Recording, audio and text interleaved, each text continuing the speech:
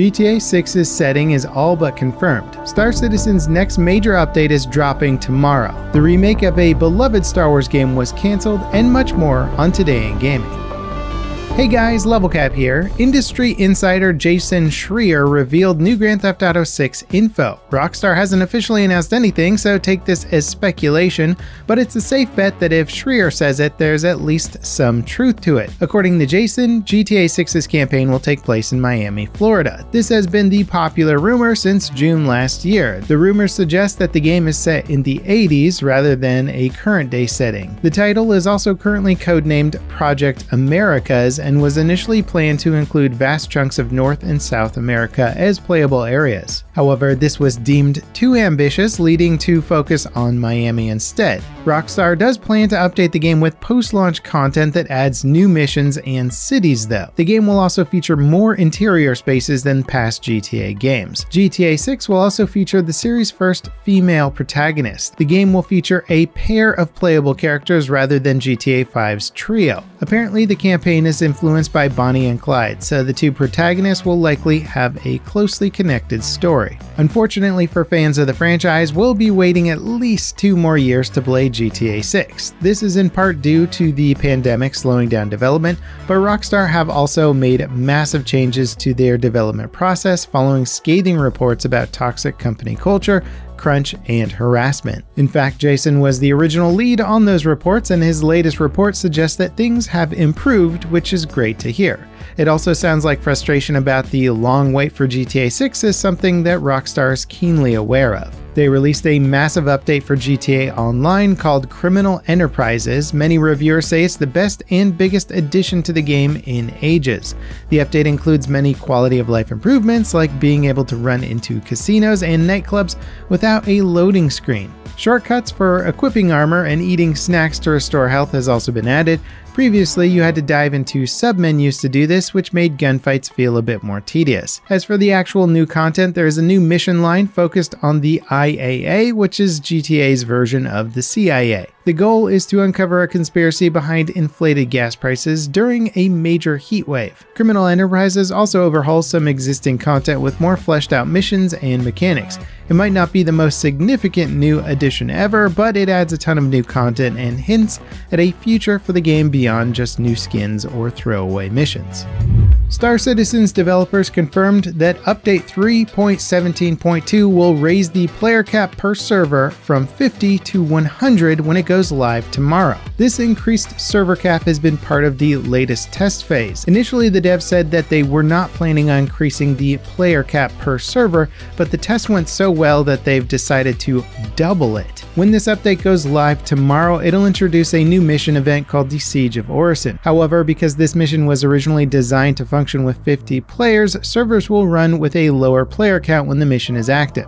This is part of a new dynamic player cap system that will work in the background to ensure the general experience remains stable. Overall, this update is a massive step forward for the game. Star Citizen's end goal is to be a proper MMO with thousands of players simultaneously playing in the universe far away and in close proximity to each other. It'll hopefully achieve this with server meshing, which will hopefully be released towards the end of the year, that will run multiple servers in parallel to host lots of players. But for now, doubling the player count per server is a major milestone. There's also tons of other content being added with 17.2, including balance changes and new missions. Hunt Showdown's Serpent Moon event is live and it adds the game's first ever Battle Pass. It offers the typical free and paid progression tracks. There's also 9 new legendary items to unlock as part of the pass. Serpent Moon isn't just a Battle Pass though, it also makes some big changes to Hunt's gameplay and maps, the first edition is a new time of day setting with a full moon at night. Hunt's typical night setting is nearly pitch black with lanterns and pale light from the sky illuminating the map. The new full moon setting offers improved visibility while still offering a moody and dark experience. It sounds like the time of day option will be removed when the event ends on September 26th. Serpent Moon also implements a new leaderboard system similar to the ranking system of other titles. The higher you rank, the better your reward will be when the season ends. It'll also be the the first time you get a displayed ranking in the game.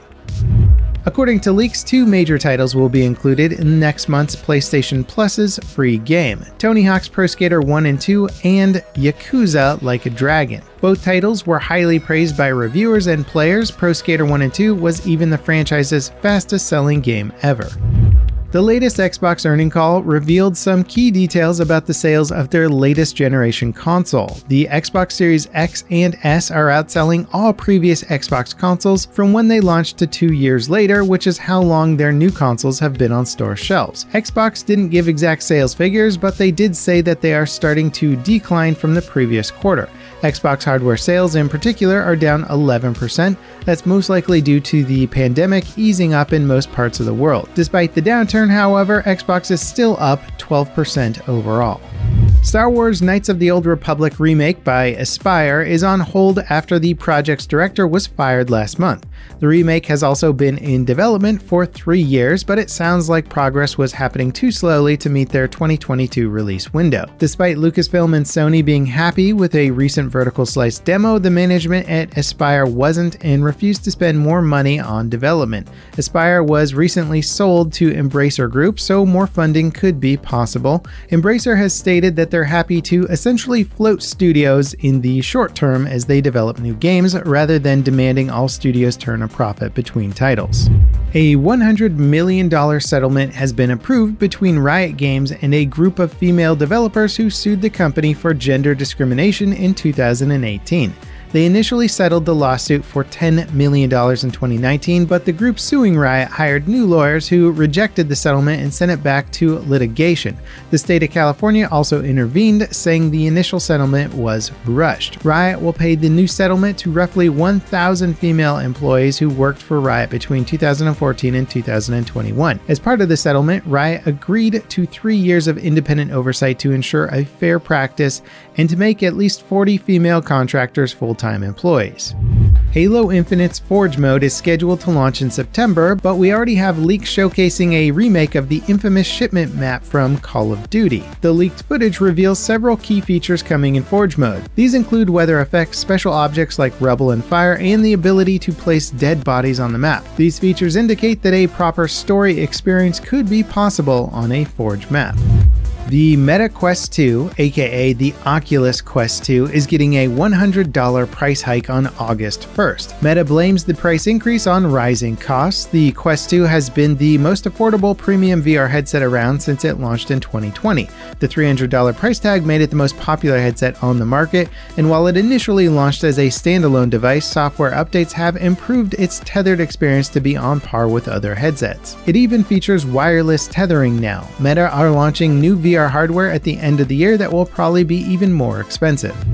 The studio behind the OlliOlli skateboard game franchise is branching out with their upcoming title, Rollerdrome. It's a single player, third person shooter roller skate game. They announced it last month, but released gameplay previews yesterday that gave us our first look at what to expect. Performing tricks and shooting enemies go hand in hand. Certain enemy attacks can only be dodged by landing tricks, and some areas of the map can only be accessed by tricking up to them. Rollerdrome launches on August 16th for PC and PlayStation. Before we get to our final story today, let us know in the comments if there's any games or topics that you think we should cover in future updates. And of course, hit that subscribe button if you haven't already, it's a great way to support the channel. The long-awaited Source 2 update for CSGO might be announced in August. Several prominent CSGO creators, such as WarOwl, have been invited to Valve for a closed-door event next month. In the past, Valve have invited press and content creators into the company's HQ to preview upcoming games, hardware, or just ask specific specific people at the studio questions. Right now, it seems like Valve are finalizing their Source 2 port of CSGO.